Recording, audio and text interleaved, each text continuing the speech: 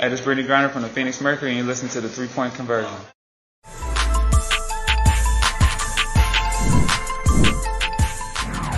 Have a great time, but you. All right, we'll start with in-person questions first. Can you talk a little bit more about what is, when is the decision to move on from Tina Charles? Uh, no, I, I really, it's just, uh, best for both parties and, um, we're ready to move forward and, uh, get out there and battle tonight. Have you, have you done any looking around to see if you're gonna add anybody to the roster? Yeah, our GM Jim Pitman is busy, always trying to upgrade our roster and, and find new players. So, um, yeah, it's not ideal to go into a game with eight players. Um, so, uh, we'll definitely hopefully get some players in here quickly. the importance of rotation. tonight. Yeah, Um, Because last time. you said Yeah. We have no rotation. Yeah. Which I thought was a great line, by the way. yeah. Uh, So now there's no more playing. Well, uh, we did have a couple games, um, that, uh, Tina didn't, elected not to play in earlier in the season. Right. And so we had an opportunity to work a similar lineup to what we have today. Actually, um, I think we have a one initial player available. Um, which Shey wasn't available as well. So, um, yeah, so I think we'll work on that. We, it's, rotation has been a challenge as we've had different lineups for most of our sixteen games, um, this year. And, you know, the good news is I don't know any different because I'm a rookie. So just doing my best out here to sort of sort it out tonight um, be smart about how uh, we get people in and out and maximize our, our vets. Dallas's interior presence has really come on strong, really since you guys last played. Yeah. This year, really coming for own. With Tina, you know, now on not. Mhm. How are you guys try to lock down the interior? team? Yeah, I mean, that's obviously going to be a challenge. Um, I think for us, it's, they got to guard us too. Um, so hopefully, you know, we're adding Sophie Cunningham into the lineup um, to spread the floor a little bit on that end and then just be quick um, and use our, our speed and our versatility um, to sort of try to placate some of the issues we had inside in the last game. Um, rebounding has been an issue even when we had Tina. So um, we're going to have to make sure that we're all committed to, to that. Um, if any balls bounce my way, I'm going to get them too. So I don't know if coaches can collect rebounds, but uh, I'd like to, I'd like to be a part of it if possible.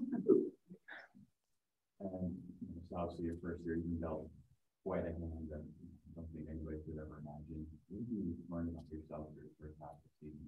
That's a great question. Uh, this has been um, some, I learn something new every day and uh, it's, it, it can seem like a tremendous obstacle, but I'm choosing to see it as an opportunity.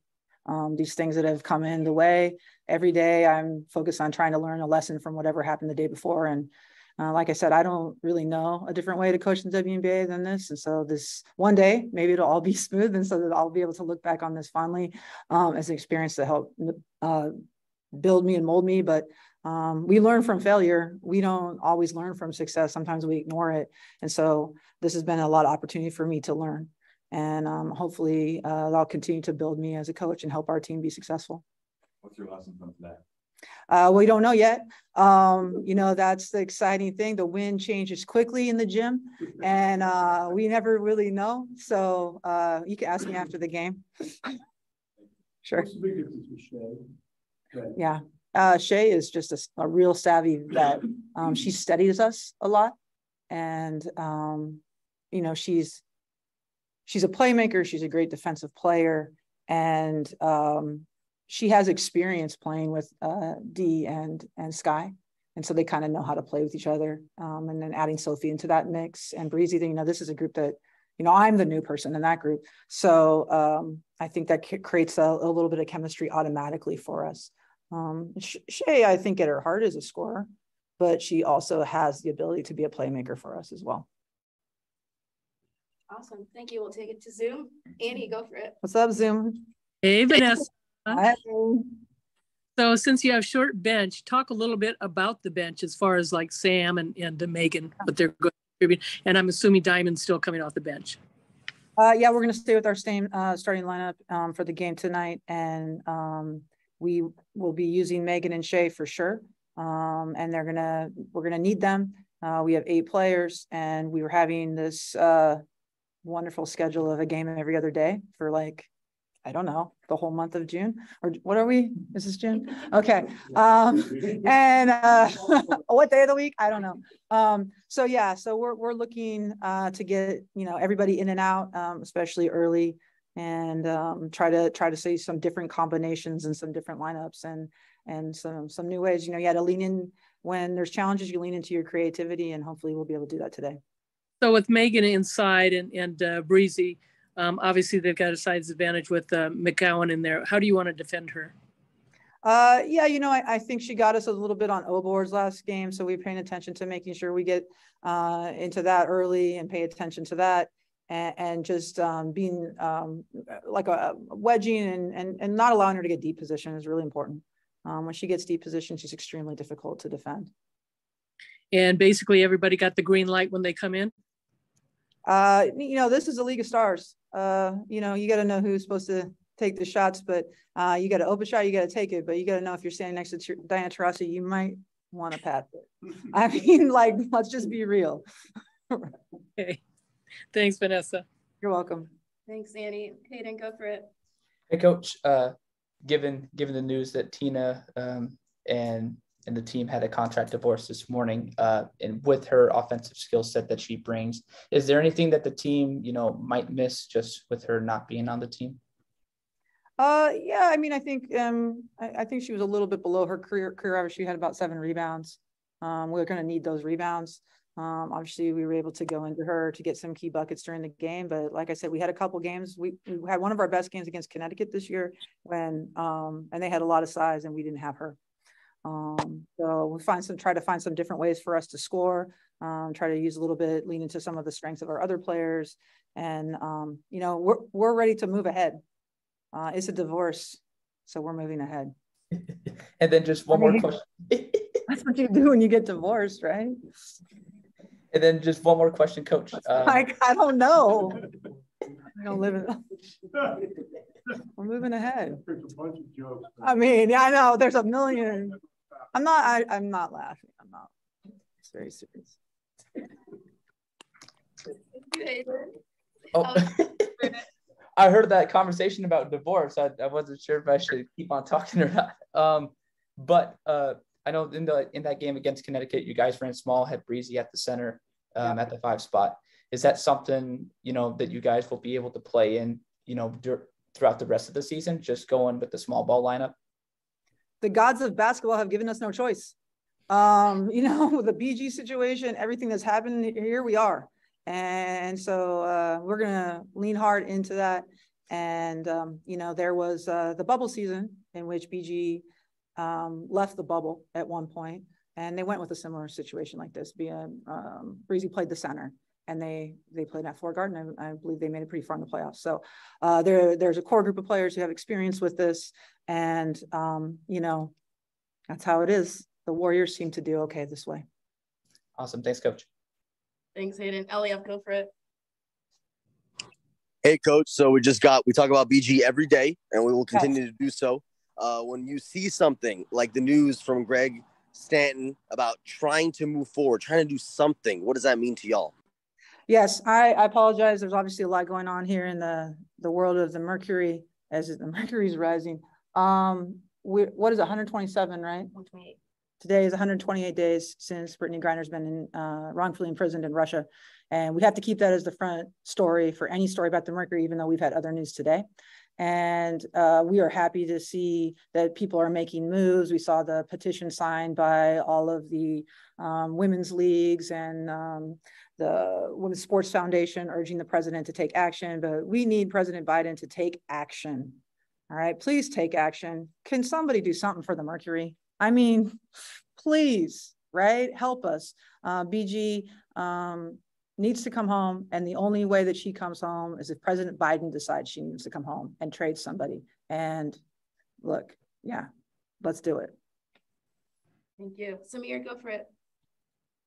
Hey, Coach. Uh, I hope you had a safe life uh, to uh, Dallas. Thank you. And uh, I just wanted to ask. I mean, I was going to ask about uh, the uh, Tina Charles story, but it's already been talked about in Brittney Griner. So I will ask about uh, Arike again. So Yeah. you're going to face him for face her for the third stri- Yeah. third time. How are you going to expect to defend her with a sh- uh, shorter bench? And uh, yeah, with a shorter bench and everything. Arike has been playing great and she's especially been playing great against us. Um, so we really have uh, to prepare for that. Um, I thought we did a much better job on her in the second half um, of our game. What was it, like a couple days ago? Um, but uh, our last game, we did a much better ha- job in the second half. And so um, hopefully we'll, we'll continue to build on that, make it difficult for her, make her a bigger point of attention. Um, yeah, she's a tremendous scorer. And, um, you know, we want to make sure that every shot that she takes is difficult and um, that we we're, we're paying really close attention to what she's doing. They have a lot of other great players as well. Um, so this will be a great challenge for us tonight. Okay, thanks, coach. You're welcome. Thank you. Raphael, go for it. Hey, Coach, hope all is well. This is Raphael Haynes with the three-point conversion. Coach, of course, we spoke about the BG um, news today, and then, of course, with Tina Charles. You talked about being a rookie coach, and with a situation like this today, this is a unique situation. How do you prepare the team? Do you lean more on your veterans like Diana, as far as after a day, you know, and with all of these, with all of the news that came out today, how do you lean? I mean, how do you deal with this? Yeah, you know, uh, we're so fortunate. I'm super fortunate as a as a rookie coach to have uh, Diana on our team, and you know, she's seen a lot of things, but also she's a tremendous leader. And so she's stepped up in this experience, um, in this situation to to lead our team. And um, you know, there's always different circumstances. Their teams come out and they have like eight people or whatever. You never know coming into a game, and so you got to play with who you got. And today uh, we know who we got, and we're going to go out there and do it. And we do want to lean into our veteran um, experience and hopefully um, use that to our advantage because we do have that going for us um, with those guards. So uh, hopefully we'll get that that happening tonight. And quickly, can you talk about the uh, mood of the team with the news about BG? Extremely um you know they're always they keep bg at the front of their mind um they keep that as their motivation and uh that is a big focus for us and i would say today with all the other stuff as well they are extremely focused Thank you. Um, Alexa, did you have one last question? Sure. Hi, Vanessa. Um, with, you know, your team has been used to lots of disruption this season, but with something like this that happens today with Tina's departure, how did you, I guess, either challenge your team to um, come together with her absence um, or her departure? And um, what are you looking for your team to do um, to, I guess, more from like a mental or emotional standpoint, given all of that disruption to move forward? yeah we have no choice to move forward but you know it just makes you like we, we have to come together it's uh it's uh a we few we happy few we band of sisters like we are here for the battle and you don't want to die with us we don't want to die next to you so like we got to come in here and ready to battle and so we are uh uh, focused on that. We are ready to go. The players, like I said, they are very focused and they are not happy um, with how we've been playing. And so they're ready. This this is an extremely competitive group. So, you know, when it gets to be like this, all they want to do is win. And so, you know, I, we had one of our, our most focused shoot arounds we've had all year. And I know that they're going to be um, excited to um, play tonight. And I look forward to great officiating. I can't get fined for that, right? Uh, uh, a, a hand went up. There's a little hand right there. Oh, Cheryl, go for it. Jeez. Hi, Coach. Um, I just wanted to ask about um, Diamond. You know, since she's um, scored uh, a little less in the past couple of games, had a little less minutes. What are you expecting from her? What do you need from her right now, especially with everything that's going on? Yeah, you know, Diamond's been great for us this year. Um, but you know, obviously she's gonna play a lot of minutes tonight.